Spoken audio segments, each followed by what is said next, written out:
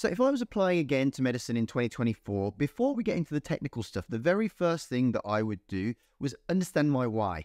Now, that seems a little bit woo woo, but it's really important to understand why you're going into medicine because it's the thing that's going to help you stay motivated. It's going to help you direct all of your work experience and all the things that you do. So, such an important thing and often really overlooked even if you just spend five minutes just deciding exactly what it is you want out of a career in medicine and why you are driven to go towards it, that will help be your true north at times when you're struggling, which is inevitable as part of the medical application. Now, as I go through this, I'm going to start with the broad concepts and then whittle down and get into the nitty gritty of the more specific stuff as we get to it. But these are the tactics that I used when I got into both medicine and dentistry and completed both degrees. And it's the same technique that I teach all of the students that are on our program that we've got over 93% success with, with getting students into their first choice medical and dental school at the first attempt.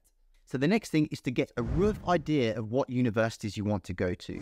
The reason for that is because you need to understand where the bar is. And basically, when you're applying, you're going to have one of two outcomes. You're either going for a specific university, usually a very competitive one, like maybe the London universities or an Oxbridge or just maybe a Russell Group University, but if that's the case, then you need to understand what UCAT score do I need? Is there a different exam that I need to take? What kind of work experience do they want? All of the really important stuff, and you need to know that as soon as possible so that you can start preparing your application to satisfy the needs of that specific university. Now, the other goal or the other bar that people aim for is that I just want to get into medicine or just want to get into dentistry and I don't care where I go as long as I get in. So there we start need to start understanding the minimum requirements generally for basically some of the less competitive medical schools. They're all very competitive. It is still very difficult to get into, but it's just useful to understand what is the minimum or maybe the average that I need to aim for for a typical student that will gain access to a medical or dental degree course. Now, the third broad concept before we get into the nitty gritty is that I would recommend that you get your parents involved unless you are kind of in your late 20s and you have your own career and you're supporting yourself, I would really recommend that it really helps to have your parents involved because they obviously want you to do well and I'm sure they will support you on this endeavor. But there are lots of things that they can do to help support you in little ways, or at least understand the areas of focus that you need to place your attention on so that they can kind of point you in the right direction. And in fact, we've done a free course specifically for parents to how they can support their children who apply to medicine. So if you want to check that out here, there are no gimmicks. It's completely for free. It's about two and a half, three hours worth of material that they can just watch at their own pace. They can watch it at double speed, so it's very easy to get through. And that way, they will know exactly what they need to do to support you and maximize your chances of success. So then specifically, I'm going to talk you through in order what you should do. Now, this is the proven process that, like I say, I take all of my students through and has that success rate that we talked about earlier. So I'm going to talk you through the steps that you need to do to assure you gain success. Now, the very first one is strategy. I sit down with students for a very long time, for hours, to map out the exact process or the exact set of steps that we're going to do to maximize that student's chances of success. And it's a very personal thing and it's uh, very bespoke in that sense that it's not kind of like a cookie cutter approach. It's you have to look at what your strengths are, what your weaknesses are, where you want to go, and all of the details that make up and the ingredients that make up the recipe of a really fantastic application. So really think strategically about how are you're going to approach this application. One of the best things that you can do is get one of the free resources off the FutureDoc website, uh, which I'll link to in the description below and we have a timeline that you can download for free that tells you exactly what's coming up, when the steps are, and so you can plan exactly when you need to start preparing for each step and what you can be doing at each stage of the year to make sure that you're maximally prepared. Now, the next thing that you need to do is gain outstanding work experience. And you'll have seen me speak in other videos, particularly this one here, where I do a deep dive on work experience, that there are three types of work experience. So you have shadowing, where you're typically in a hospital or a GP practice following a doctor around. Then you have volunteer work to show that you can give back to the community and care for others. And then you typically will have paid work where you really demonstrate those transferable skills of responsibility. You might be in charge for the keys or handling money, or you might be doing all sorts of things that kind of draw parallels with the skills required to make a good doctor. So check out that video to find out exactly how to set up your work experience in the best way possible. Then the next stage is all about the aptitude tests. Now, at the moment, when we're filming this, they have just got rid of the BMAT, which was the exam required for Oxford and Cambridge, and about five other universities on top of that. And still to this day, at the time of recording, we don't know what they're going to do to replace it. But what is almost certain is that you will probably be sitting the UCAT, and if you're a graduate, that might be accompanied by the GAMSAT as well. And again, depending on what's going to happen with this BMAT, whether they're going to replace it or universities are just going to adopt the UCAT instead, we will know whether there is an extra exam that we might consider taking. However, what we need to do is make sure that we prepare well for the UCAT. And as I always say to students, the UCAT is both sim- simultaneously underestimated and overvalued. It is an important part and maybe the most important part, if not in the top two or three. However, it is not the only thing that makes up a good application. The other things that I'm going to talk about here make the balance of a really well-rounded, solid applicant. So don't think that all it's all about the UCAT and nothing else.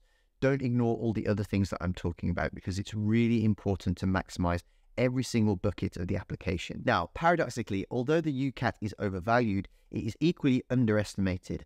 People don't realize how much work they need to put in to make sure they get a score that's going to at least get them over the threshold required to be invited to interview. They don't understand the kind of work and time and prep that it requires to ingrain all of the techniques, the speed of the exam, and just get to grips with the basics so that they can put themselves in a position to score highly and, kind of improve on a good trajectory.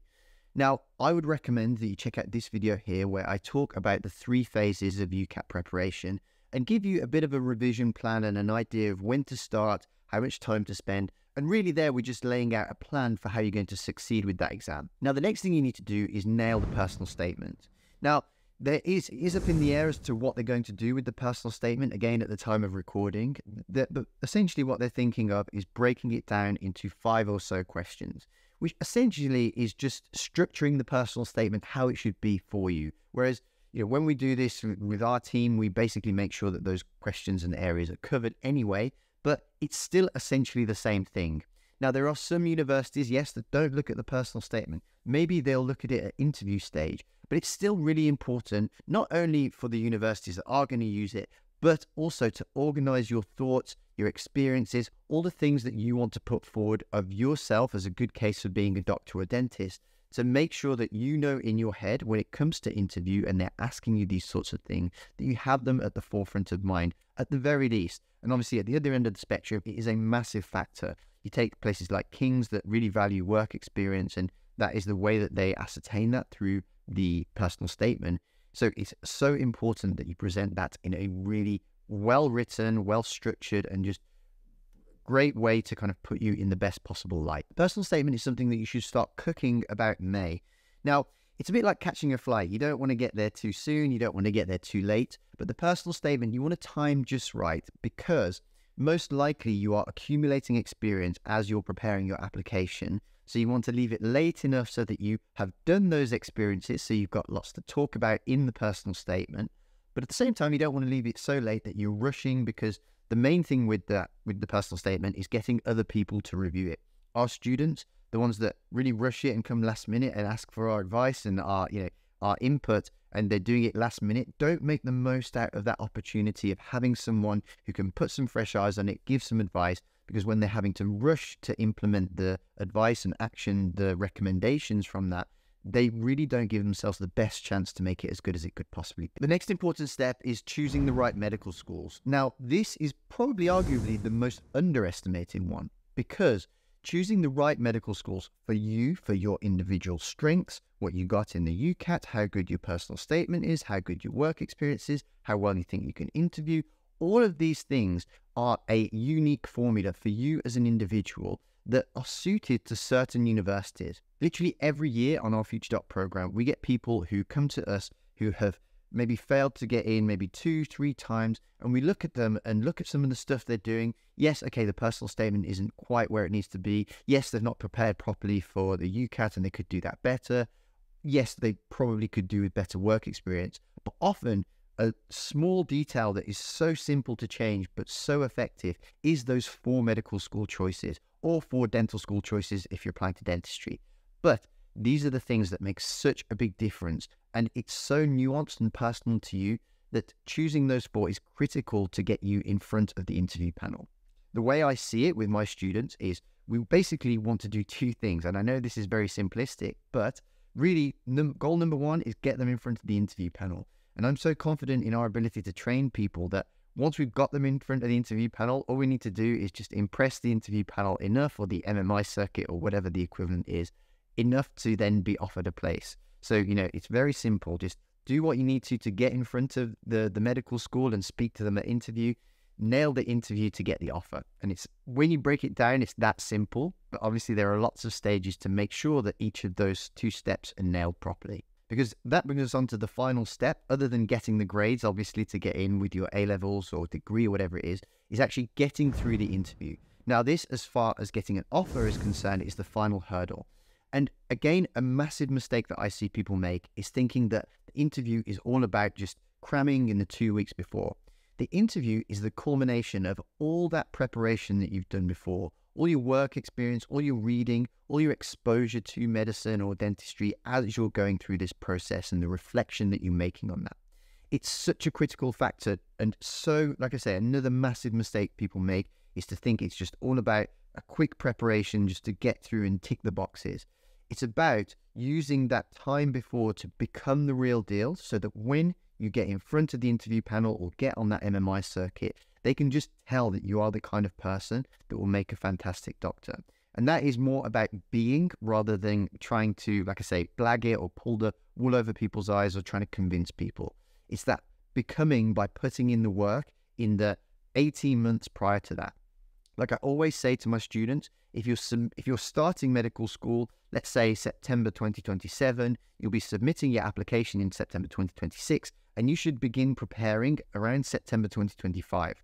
So it's something to bear in mind that you really, it's a kind of two year ordeal. And especially the year prior to submitting your application, you really need to be putting the work in to build a very strong application. If you'd like to find out how to build what I would call the perfect application and maximize your chances of success, I recommend you check out this video here, which will tell you a little bit about our program and how we got 93% success last year with getting people into their first choice medical school at the first attempt, and the same method that we've had year on year to get over 90% every single year with all of our students. So thank you for watching, and I'll hopefully see you in one of those videos.